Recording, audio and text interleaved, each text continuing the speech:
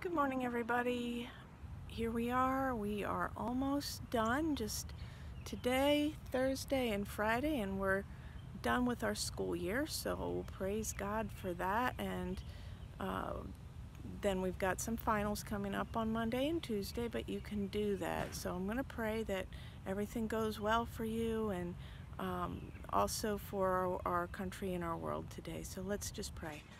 Heavenly Father, thank you, Lord. Thank you for loving us so much. Thank you for waking us up this morning. Thank you that you've got it all under control. Thank you, Lord, that you give us hearts to love with and you give us a desire to go forward, that you give us a desire to um, to love each other. So I pray that you would help us to love each other well. I pray, Lord, for our country, that you would move in our country, that you would help us to do your will and to show each other exactly what it means to love and be loved. I pray that you would take care of everyone's needs this morning and um, I pray for those who are nervous about finals coming up next week that you'll help them with that. I pray that the rest of this uh, this school year will go well for everyone and, and that you would just take care of them. I pray for those who are looking to hit a certain mark with their academics that you'll help them to hit that mark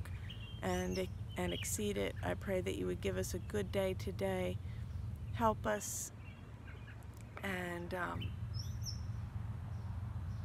just help us. In Jesus' name, amen.